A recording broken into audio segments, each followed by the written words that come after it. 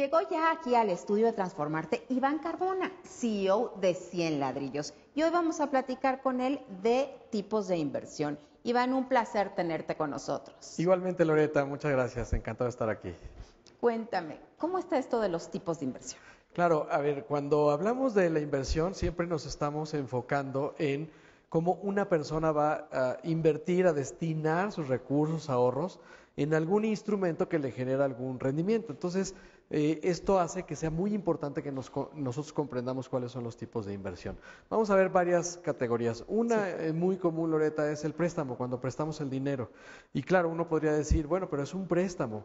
Eh, ¿Por qué eso es una inversión? Bueno, es una inversión porque te va a pagar intereses. La intención que tenemos cuando prestamos el dinero es que nos paguen intereses con el paso del tiempo.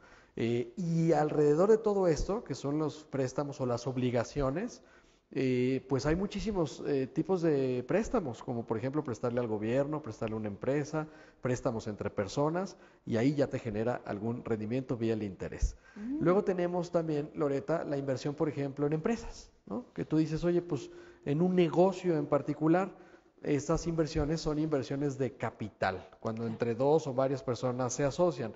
Ahora bien, Tú podrías invertir en un negocio donde tú vas a poner el capital y asociarte con alguien para poner la empresa, o también podrías invertir, por ejemplo, en empresas públicas. Estas son las famosas acciones de bolsa. Y hoy por hoy ya está eh, disponible a través de la tecnología. Loreta podría invertir en empresas mexicanas o extranjeras y tener acciones. ¿Qué esperas ganar en una inversión en una empresa? Bueno, pues que esta empresa le vaya bien, que tenga utilidades y que te pague dividendos. La otra inversión, Loreta, es en bienes raíces, por ejemplo. ¿Qué invertimos en bienes raíces? En un activo, ¿no? En una, piensa en un local comercial, una bodega, un departamento, que va a tener un inquilino que paga renta. Y entonces el rendimiento de un activo inmobiliario es la renta y también la plusvalía que el activo va generando con el paso del tiempo. Eh, después de estas tres, Loreta, que son deuda, eh, acciones o capital y bienes raíces, hay múltiples inversiones como por ejemplo inversiones en arte, donde tú estás esperando que la obra artística incremente su valor. Hay criptomonedas, por ejemplo, que está de moda, los activos virtuales, que también eh, son un tipo de inversión. Se puede invertir en metales, por ejemplo, en oro, en plata, etcétera. Y, estos siempre se recomienda, se recomienda mucha moderación, que el porcentaje de tu portafolio de inversión, Loreta, sea un eh, porcentaje menor para que el resto esté en activos un poco más estables y seguros. Ok.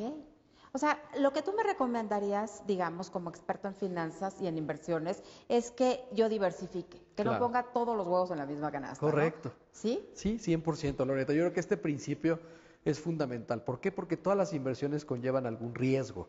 A veces eh, nos queremos enfocar solamente en los rendimientos, ¿no? Y decimos, wow, esta inversión me va a dar a ganar muchísimo. Bueno, hay que cuidar cuál es el riesgo que está asociado a eso. Por ejemplo, en un préstamo, pues que no te paguen. En una empresa, pues que la empresa no le vaya bien. En un activo inmobiliario, pues que no esté rentado. Eh, en una obra artística, pues que no se aprecie. Entonces, por eso el principio que comentas, Loreta, es importantísimo. Diversificar, ir, ubicando eh, los recursos en los distintos instrumentos para que tú puedas generar un rendimiento ponderado, generalizado, asumiendo los riesgos de todas las inversiones, que una proteja a las otras y así eh, tener eh, un portafolio que eh, sobre todo sea permanente en el largo plazo. No queremos hacernos ricos de la noche a la mañana, queremos invertir nuestro dinero en un, instrumentos seguros que me dan rendimientos en el largo plazo.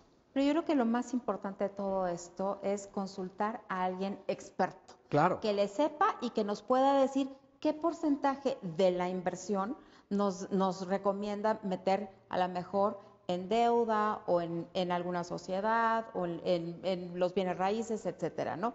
Poder diversificar pero asesorados. ¿Y quién mejor que contigo mismo, ¿no? Encantado, Loreta. Pues muchísimas gracias por habernos acompañado el día de hoy con nosotros. Y ustedes en casa, si les quedaron dudas, por favor comuníquense con Iván Carmona. Ya saben que siempre consultar a un experto será nuestra mayor y mejor opción. No se muevan de sus asientos porque estamos aquí en Transformarte. Regresamos.